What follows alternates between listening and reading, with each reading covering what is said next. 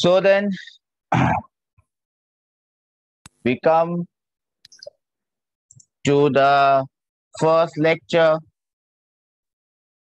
of this topic, which is known as EM waves or electromagnetic waves. I think uh, we have discussed something about EM waves in the previous classes. Uh, basically, which class we had done uh, EM waves? Yeah, this I, I talked about EM waves. That EM wave consists of perpendicular magnetic fields and electric fields. Then we had put something, and then we had made the electric field to move in one direction. Which topic had we discussed this uh, thing? EM waves in a very short discussion. Do we remember that topic, beta?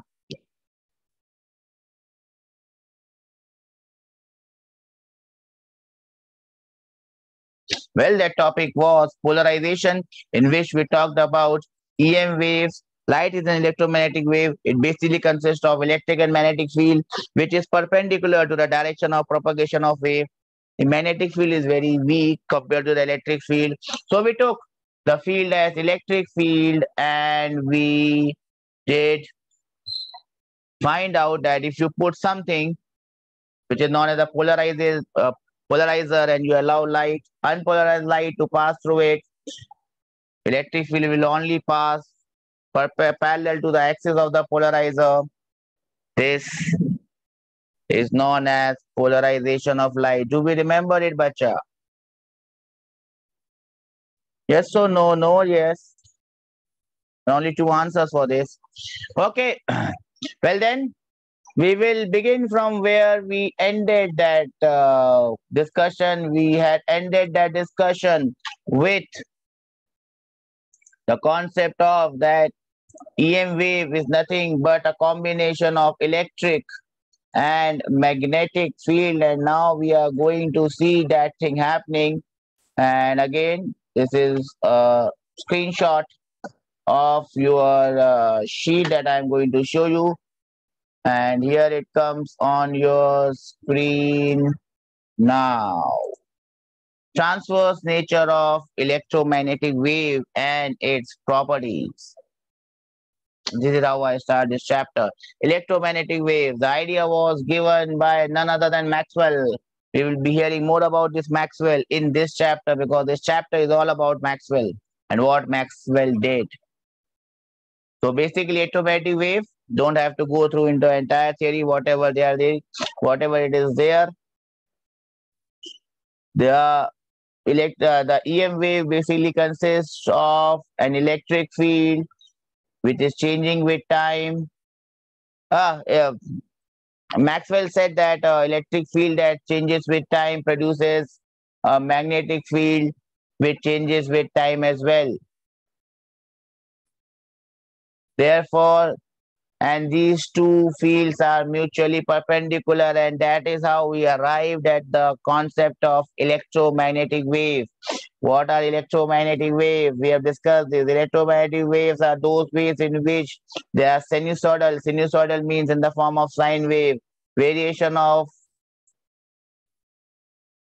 electric and magnetic field. So both electric and magnetic field are varying with time and they are in mutually perpendicular direction. A time varying electric field creates a time varying magnetic field. Both are varying with time as sine waves and they both are perpendicular to each other. They are also perpendicular to the direction of propagation of wave. Do we understand this? EM wave consists of electric and magnetic fields. Both are time varying both are perpendicular and they are also perpendicular to the direction of propagation of wave. I'll give you a minute to note this thing down. Well, then let's move ahead and see how this uh, time varying electric and magnetic field are looking like. As you can see, this is the direction of propagation. The wave is propagating along x-axis and you see, and you see uh, electric field, electric intensity and magnetic field, they are both perpendicular to each other. One, so basically, if wave is propagating in the xy direction, both of this would be in the YZ plane. Do we understand this? Yes or no? No, yes. And the speed of light is given by this formula 1 by root over mu naught epsilon naught. Mu naught is permeability of free space. Epsilon naught is permittivity of free space. Mu naught is coming for magnetic field and epsilon naught is coming for electric field. Do we understand this? Magnetic field is written by B. Electric field is written by E. Therefore, light is an electromagnetic wave and the value of this thing is 3 into 10 raised to the power 8 meters per second and it comes from this formula. Please remember this formula. C is 1 by under root mu naught epsilon naught. I'll give you a minute, only a minute to win it. So let us move ahead. What we have seen is electromagnetic wave consists of electric and magnetic field, both varying sinusoidally. At the same time, both are mutually perpendicular to each other. This is how the equation of this will look like. Remember, it's the equation of a wave, a progressive wave. This is the electric field ka wave. E is equal to E naught sine omega t minus x by c. Remember, E naught is the amplitude. Omega is the angular frequency. T is time, x is the position in space, and c is the speed of light. Do you remember this formula from waves? Yes or no? No, yes. Similarly, we have formula for B. B is equal to B naught sine of dash omega t minus x by c. Omega is angular frequency. Remember, both the angular frequencies are same. The speed of light is also same. The speed of the wave. Do we understand this? If the electric field is along y-axis, magnetic field will be along z-axis. Then the electric field, then the wave will be moving in the x direction. Both fields are perpendicular to the direction of electromagnetic wave and hence electromagnetic waves are transverse in nature because particles are oscillating in a direction which is perpendicular to the direction of propagation of wave. Do we understand this? Yes or no? No, yes.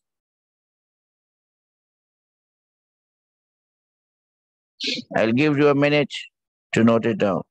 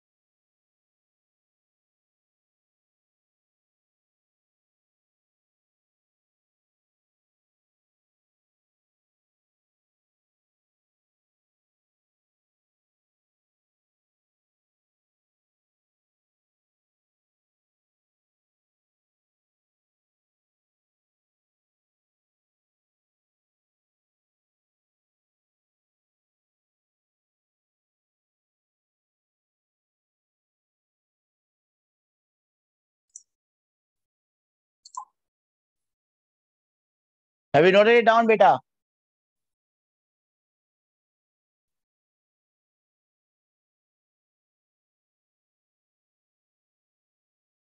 Okay.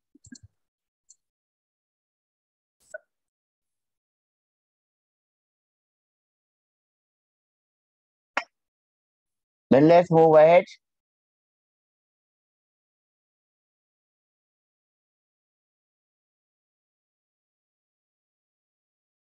And we write this uh, Poynting vectors.